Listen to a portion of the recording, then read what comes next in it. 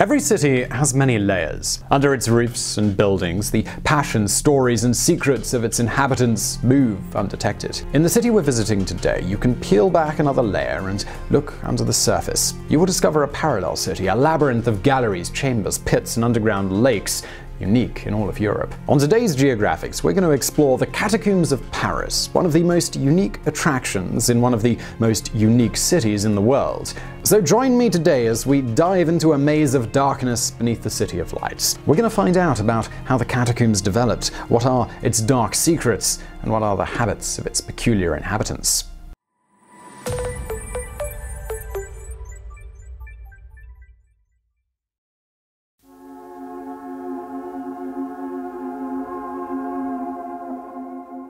First of all, a distinction. Today I'm going to use the word catacombs to refer to the entirety of the vast network of galleries that sprawls underneath Paris, a reign of darkness underneath the City of Lights. But if we really want to be picky, the tourist attraction known as the catacombs consists of only two kilometers of tunnels that are open to the public, which were used as a burial place in the 18th and 19th centuries. This is just a tiny fraction of the whole network, which extends to a total of up to 200 miles. Today it is largely closed to the general public for most of the year, but a good Parisian is always a bit of a revolutionary, and so organized a group of explorers who defy law by roaming the dark corridors that are normally off limits. The development of this parallel city below the surface it started very early. Experts evaluated that quarry tunnels have existed on the outskirts of Paris since Roman times. The limestone in these quarries built much of Paris since ancient times. Little by little, builders started mining underneath Paris, a clever idea to save time and the costs of transportation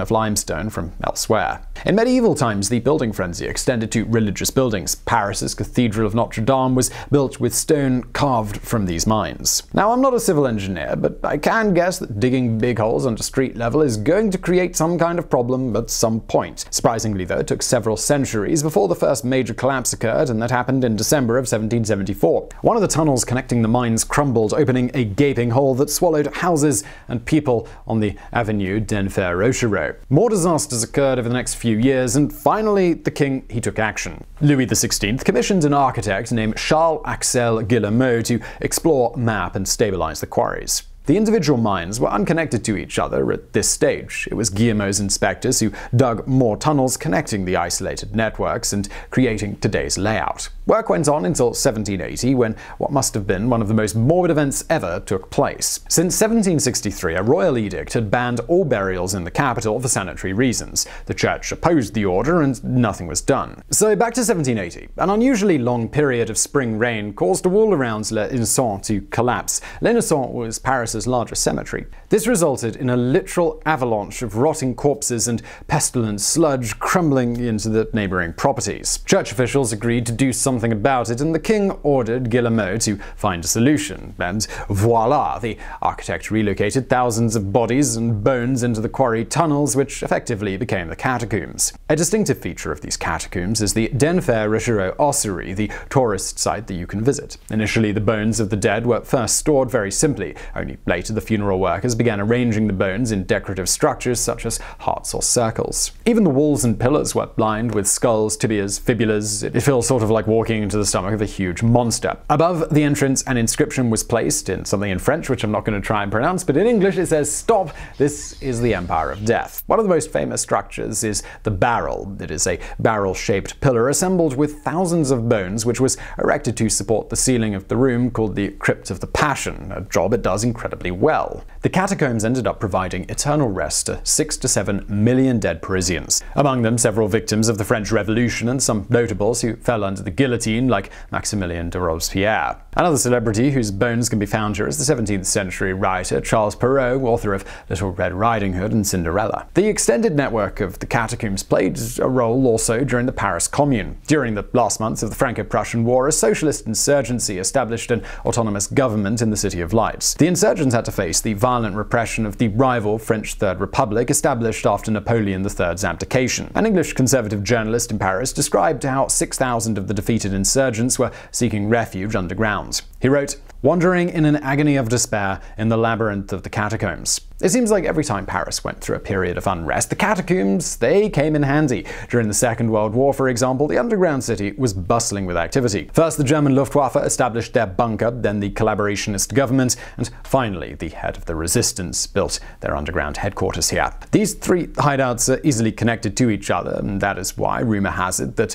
members of the three factions would often bump into one another in the dark galleries and simply ignore each other for one reason or another. But this fun bit of history is not actually true. The bunker was never in use at the same time. This is one of the many urban legends about the catacombs, and we've got plenty more of those coming up later. Entering the quarries became illegal in 1955, not so much as a form to control illicit activities, but to prevent accidents and people getting lost in the 200 miles of tunnels. But when strife came, the Parisians would always know how to make good use of the galleries. In 1968, a student protest erupted into riots, pitting Parisian students against riot squads. The catacombs proved handy, and the students in revolt used these galleries to evade the police and quickly reassemble in other parts of the city. In later decades, mostly the 1970s and 1980s, a new movement blossomed the cataphiles, the catacomb enthusiasts. The traditional Parisian rebelliousness got a fresh kick from punk culture. Taking advantage of the many entrances still open, groups of young cataphiles discovered that they could descend into the quarries from the basements of their schools. In secret places only they knew how to reach, the cataphiles partied, staged performances, created art, and took drugs.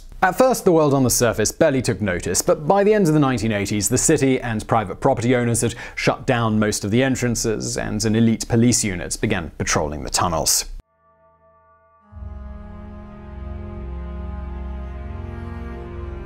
The cataphiles may have dwindled in numbers, but they're still very active. Their main activities are the exploration and preservation of the ancient galleries, but they sometimes like to party hard as well. They certainly know how to tease the public. One of them, photographer Patrick Alk, said in an interview, You guys have no idea what's down there. It is natural that the catacombs exert a powerful influence on popular culture. This has given rise to many urban legends, including tales of secret meetings, satanic rites, neo Nazi gatherings, and even ghosts. If you happen to visit one of the underground burial sites after midnight, don't, there's a hefty fine, but if you do, legend says you will hear the walls begin to speak. People say that it's the voices of the dead urging you to move deeper and deeper into the catacombs until you'll never find your way out. Indeed, this may actually have happened to a man named Philibert Aspairt during the French Revolution. He was a doorman at the Val de Grace hospital. On an errand to fetch a certain liquor from a cellar, Philibert somehow entered the catacombs instead. Walking around the pitch black with just a single candle, Philibert must have become lost and confused. Maybe he was intoxicated, or maybe it was the voices dragging him deeper into the underground city. His body was found 11 years later by a group of early cataphiles. They identified him by the hospital keyring on his belt. Aspairt was buried on the very spot that he had died, and tombstone commemorates his story. Cataphiles today say that each November the 3rd, Philibert's ghost haunts the labyrinth of the catacombs. There are also persistent rumors of occult groups sneaking underground to perform satanic rituals. In our research, however, we found little actual clues of the devil's minions at work. There are two unnerving sets of graffiti scrawled in red under the boulevard Arago, and they read, Arriere Satan or Stand Back Satan. And there is also a story told by Gilles Thomas, France's most prolific catacomb expert and author. In the 18th century, a man called César hustled Parisians into paying good money to go underground and meet the Prince of Darkness himself. Deep into the catacombs, he chanted mystical incantations, to which his accomplices made some dogs bark and then lit some firecrackers. Apparently, this guy was eventually arrested and died in an underground cell at the Bastille. Thomas tells yet another disturbing story. In 1896, early explorers of the tunnels came across a pile of hundreds of small skulls. These had nothing to do with the official ossuary. These skulls belonged to small creatures. But why were they there? Could they be the remains of years of sacrificial rites and occult ceremonies? Two naturalists decided to investigate. They quickly established that all the skulls belonged to cats. They then found out that the pile of remains was just below the chute of a well. When they climbed upstairs, they found a surprise. The entrance to the well was in the courtyard of a chic restaurant renowned for its rabbit dishes. So here, Satan didn't have a part in it, it was just a dishonest cook. Another group of cataphiles reported a strange finding in the early 1990s. While walking through the ossuary, they happened upon a video camera on the ground. To their surprise, the camera had footage on it. As the group watched the footage, they heard some disturbing noises. It became clear that the man holding the video camera was lost and he had no idea how to escape. The cataphiles reported that it appeared as though the man was going mad inside the dark maze. The video ends abruptly with the camera dropping on the ground. To this day, no one knows who this man was or if he ever made it out alive. My take on this, I'm a little bit skeptical. These guys say they found the camera in the ossuary. This means that the mysterious cameraman got lost in a well known, well mapped, well lit, well guarded tourist spot. Later, in 1990, TF1, French public TV, ran a report showing an underground rally of a neo Nazi group busy singing fascist war songs and clashing with a similarly violent far left group. The reporters also showed footage of a black mass taking place, robes and candles and all. Newspaper La Libération exposed it all as a hoax, though. The whole report had been staged with the help of actors and extras. There had been a neo Nazi scare when a group of underground taggers identified themselves as La Gestapo de Ons, Gestapo of the Waves, but they had no Nazi affiliation were just that taggers. But TF1 had capitalized on the story and created some rather fun fake news. So, so far it's all rumors and tall tales, but weird stuff does happen down in the catacombs. In 2004, Parisian police were assigned to do a training exercise in a previously uncharted part of the catacombs. Entering the catacombs through a drain, officers first came across a sign that read building side no access, and a bit further in, a camera that actively recorded images of those that passed. As the officers approached the camera, barking dogs could be heard alert. But it turns out this was just a security system. It was a recording of dogs barking that was triggered by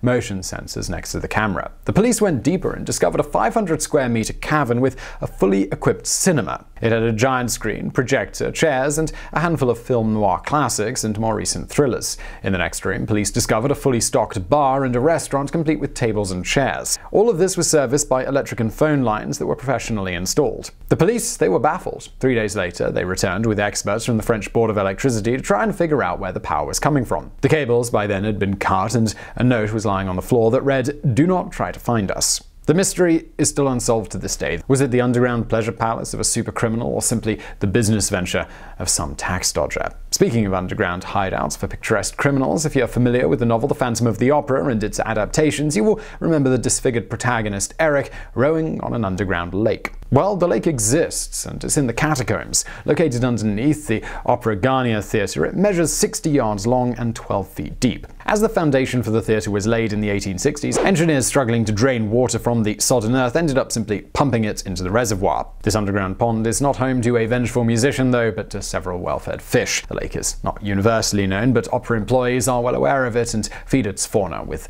a nice diet of mussels. The lake is also used by firefighters who use it to practice underwater rescues in a dark environment.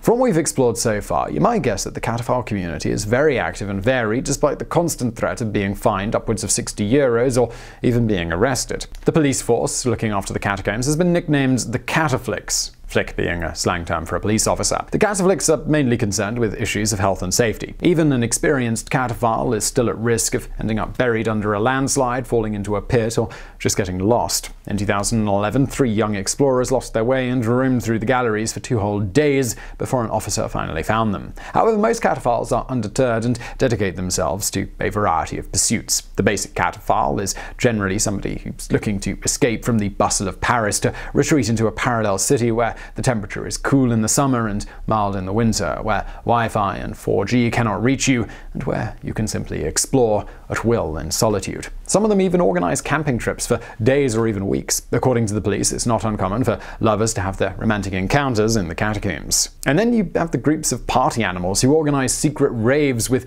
DJs and all dancing in the underbelly of the City of Lights. The Catapolice once disrupted a party of more than 300 ravers. The most famous amongst these parties is the annual celebration of Cataloween. In essence, it's essentially a regular Halloween party, but the location does create something of an unusual atmosphere. Hedonists, anarchists, and the odd tourist alike descend into the underworld for a different kind of trick or treat. Most of the activities, though, are of a cultural nature. Theatre groups organise secret shows and concerts. There's also suppers by candlelight, art exhibitions, and even swimming across the frequent subterranean pools. Most of the cataphiles are in fact dedicated to mapping, preserving, or improving the state of the catacombs. And they don't approve of exploiting this heritage for raucous parties. What happens when the party's over? Who's going to pick up the litter? Well, actually, that's where the catacleans enter the picture. These are individuals with a conscience and a lot of patience who roam the catacombs, picking up the mess of their ruder counterparts. In their weekends long expedition, they can collect up to a metric ton of trash. But the most surprising underground activity we found out about involves mushrooms. Not the type you would get at a rave, nope, the actual mushrooms that you can eat. It turns out that since the 19th century, Parisians and non Parisians alike have been growing perfectly fine mushrooms in the catacombs. It all started with a gentleman called de Chambéry. While exploring the galleries, he came across young mushrooms happily growing underground, and so he got the idea to use the abandoned tunnels to cultivate his own. More imitators followed, and very soon this practice was accepted and regulated by the French National Society of Horticulture. People came from all over France to the catacombs and grew their own mushrooms. This practice soon became a successful and profitable enterprise thank you